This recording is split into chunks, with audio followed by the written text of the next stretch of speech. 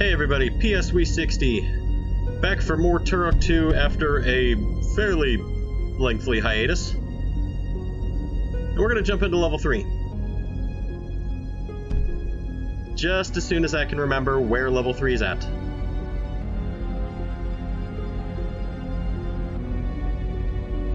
There we go.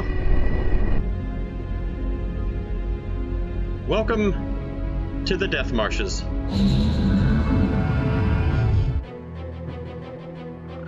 The Death Marshes.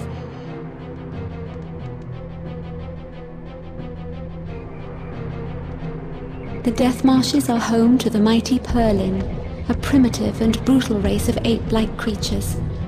The Purr-linn regard humans as weak and squeaking insects, and are deeply resentful of the progress humankind has made as the centuries have come and gone. The Primogen has fooled the Purr-linn into believing that he will turn the Lost Land over to them once they have helped free him. Little do the Purr-linn know that the Primogen intends to wipe them out as soon as Turok is no longer a threat. Though they are unpredictable and untrustworthy, the Primogen has armed the Purr-linn with a very limited reserve of high-tech weaponry and ammunition. Your mission objectives are as follows. Rescue five prisoners. Destroy three ammunition storage facilities.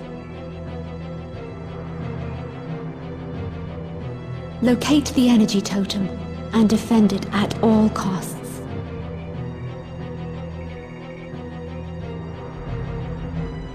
So the Death Marshes are home to the Purr-linn that we saw in Turok 1. Oh, there's already one of the ammo dumps. Uh, doesn't... Hmm. Doesn't seem to be a way to get up there from down here. But I'm sure we'll come across it later. And the Death Marshes are also home to that putrid, uh, death water from the River of Souls. So let's try to keep out of it. Anyhow, this is the homeland of the Purr-linn that we met in Turok 1. There's, like most other species in Turok 2, several different uh, forms, a hierarchy of sorts, to these guys. Shotgun. So let's open it with a trip down memory lane. health is dangerously low. This is the War Club. This is pretty much Turok 2's version of the Purr-linn from Turok 1. They've got a lot of the same attacks. They run up to you. They kind of, well, sort of run. Run on their hands like large apes do. They've got the same shockwave attack. They've got the same punching attack. And they do have a new trick up their sleeves, which we'll see in a little bit. First, I'm gonna get confused Your health is dangerously low. and back into the second Purr-linn in uh, the Death Marshes hierarchy. That is a gunner. They're smaller than the war clubs are, but to make up for it, they carry around a chain gun and a large backpack filled with small rocks. That's their ammunition.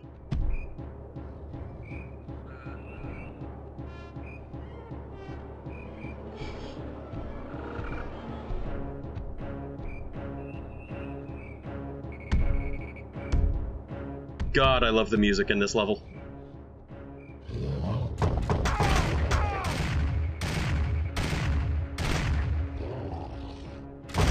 And you saw those clouds of dust there.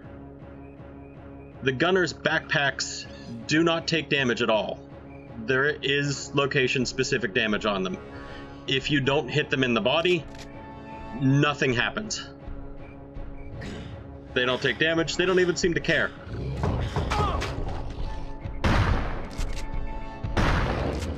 They're also everywhere.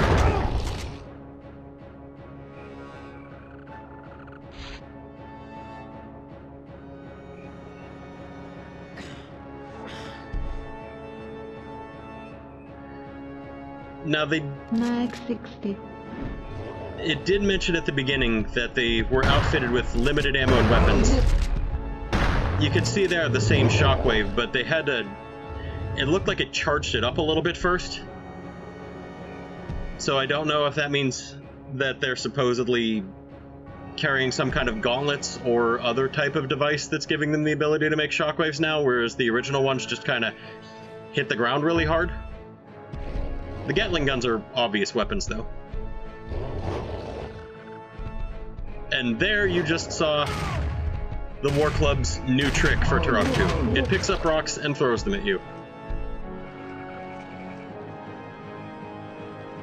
I mean, aside from the influence given in by the Primogen, they're pretty much still a tribal society.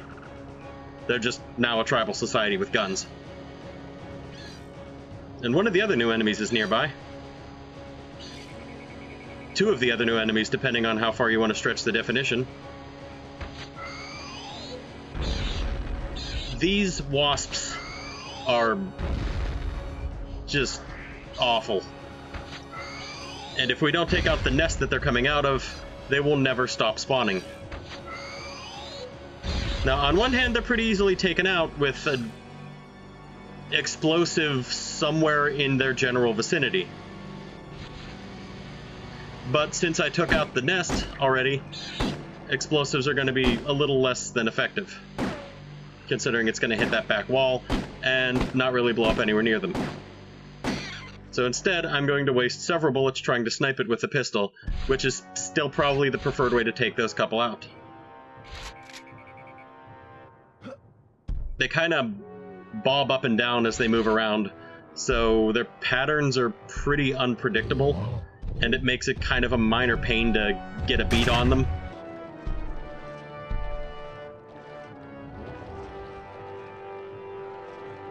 Making it as you just saw, kind of tough to snipe him. I can hear a gunner. And he's not going to be tough to snipe. I just got to find him. There you are. And there you went.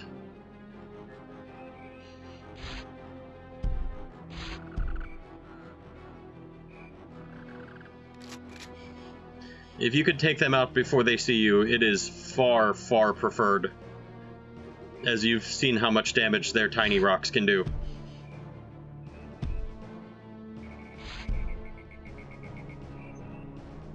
They also like to set traps.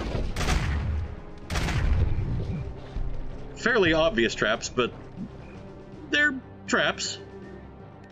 Like I said, they're a tribal society.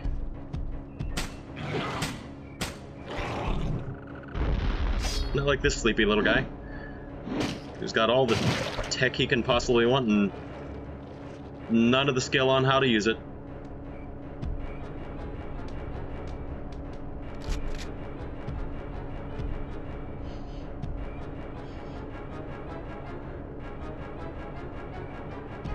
I'd swear I remember that even though this is different water, that you could drown in it still, but it didn't happen at all during this playthrough, so I don't know what was wrong with me.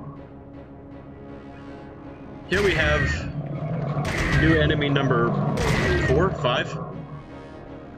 Had new enemy number four or five. The cave worms just kind of pop up out of the swamp and they'll try to lash at you. What you saw it do was pretty much the extent of its animations. Is that a torso it's cooking?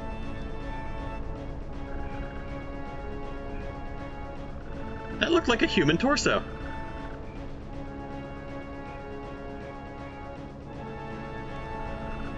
Well, you guess you gotta get your meat from somewhere.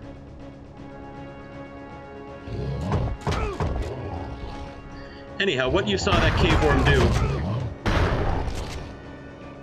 Love the little... My gun's jammed animation that those guys do sometimes. Anyhow, what you saw that cave worm do was the extent of a cave worm's animations. And you'll see why that's a problem a little later. For now, we're going to take out this hornet's nest that's the size of a house, and see again why these wasps are such a spectacular pain. Because their attacks cause them to move down and forward, and then back up. Which means they're frequently out of the range of any of your melee weapons, And they're also flying around while they're doing this. So they're not even necessarily on your screen.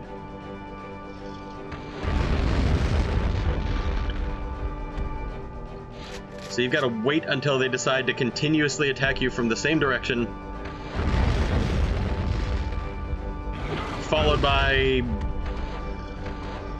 getting lucky with, uh, or I guess not necessarily lucky, followed by just timing your swings well, which is something I haven't really grasped the concept of yet.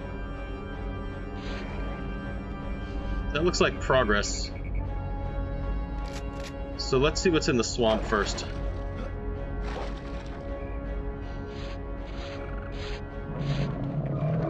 Remember when I said you saw the extent of their animations? Sometimes they'll drop back underground like that when you kill them. Other times they'll explode like that first one did, and like that one did. And other times they'll just sit there and slowly fade out. It looks like they're still there. It looks like you're still shooting them, but they don't have any more health to take the damage of. And eventually they'll fade away like most other corpses in Turok 2 do. But you'll sink a bunch of ammo trying to, uh, trying to kill a dead thing.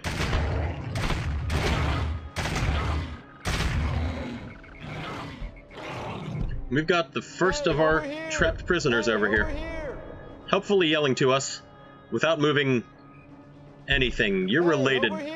Yeah. You're related to those little girls in the first level, aren't you? This is probably a mistake. I'm free. Thank you. Yeah. You're probably possessed by something that was yelling for freedom. That's.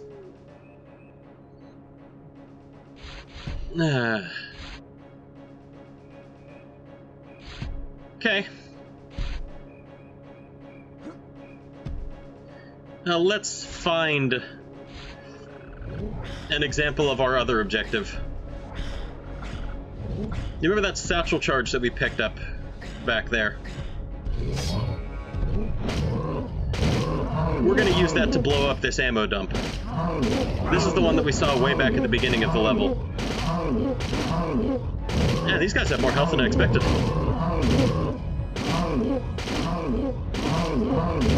Thankfully, they've got a decently high pain chance from the Warblade.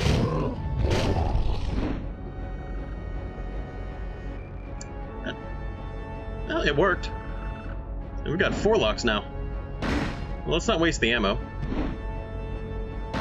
Not when we could just kind of claw them off of the door.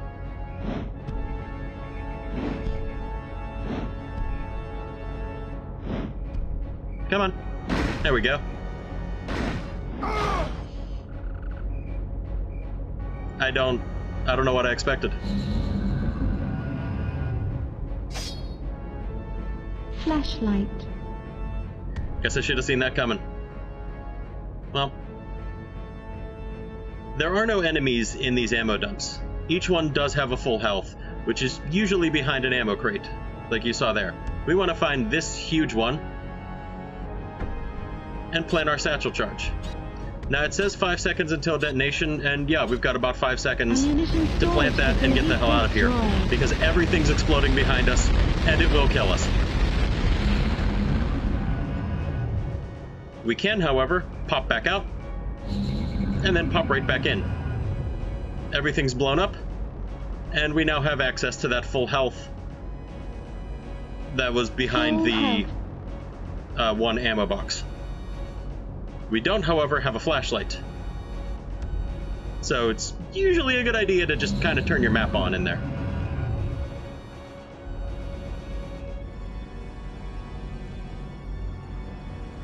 But with that out of the way, we can make our way back to that teleporter, as there's nothing really left for us in this section.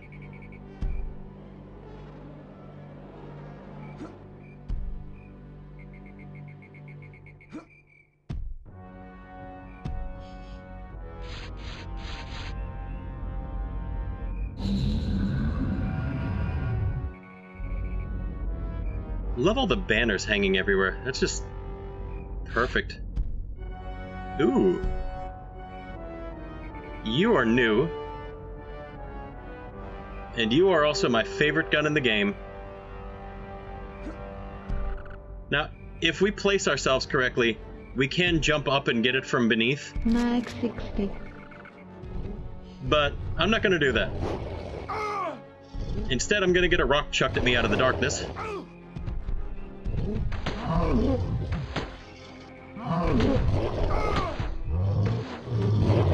And I'm going to show you how you're supposed to be able to get that gun.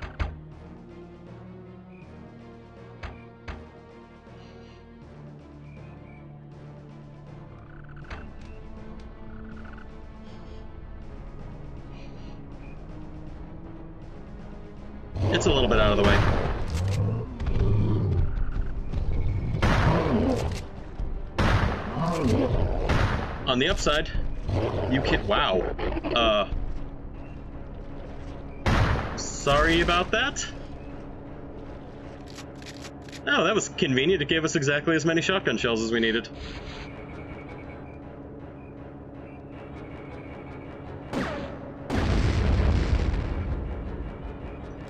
Now, as you've seen me do to that guy, you can. Well, you can blow a hole in their chest. Which is always fun. But more importantly,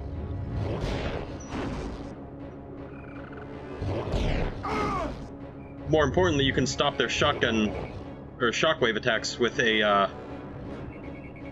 their pain chance. And up here, we can see the last of the new enemies in this level. This is a Purr-linn Juggernaut. They've got these huge masks on. They're armored as hell, so they take a lot of shots to go down.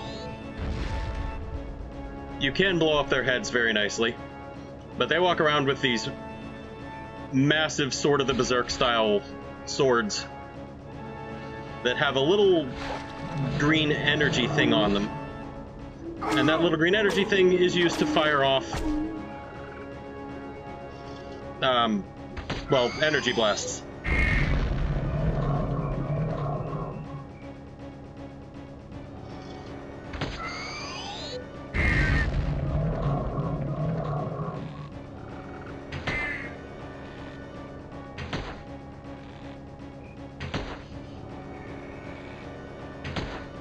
Right there is where I was talking about watching the cave worms fade out. As once he stopped making noise and howling in pain, he stopped taking damage. He didn't have any more health. He was already dead, he just didn't realize it yet.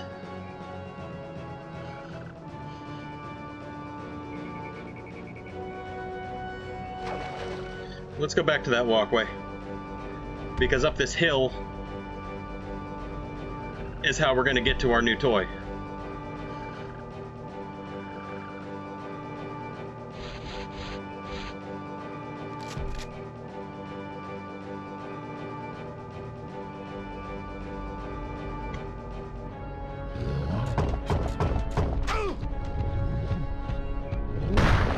Good to know that there's a save point up here.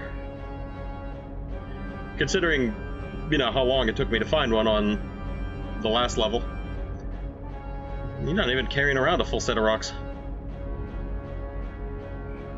It is kind of neat that they actually put a texture in there for rocks. I just kind of wish they'd have moved it a little bit further up. That way the backpack looks a little bit fuller.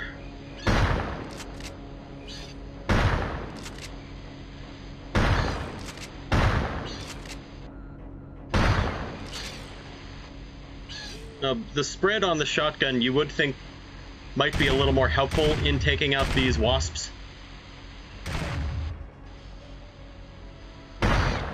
And it is. No joke there. It's just legitimately more helpful. Because of that spread.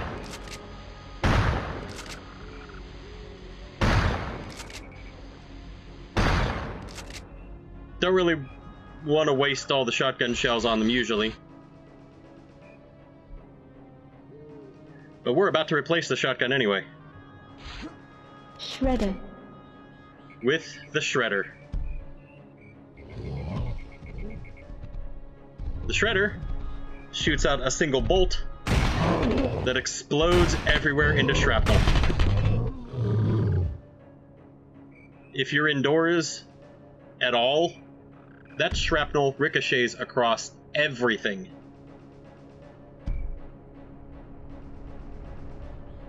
And eventually disappears, but until it disappears, it is wonderful. It changes how explosive rounds work too. But instead of explosive rounds exploding into shrapnel, they have this kind of long beam that ricochets off of, again, everything. Until it eventually hits something and explodes. Both of the shots are pretty powerful. Greetings, Turok. How may I assist you? But we're going to see more of him next time. Till then, good hunting.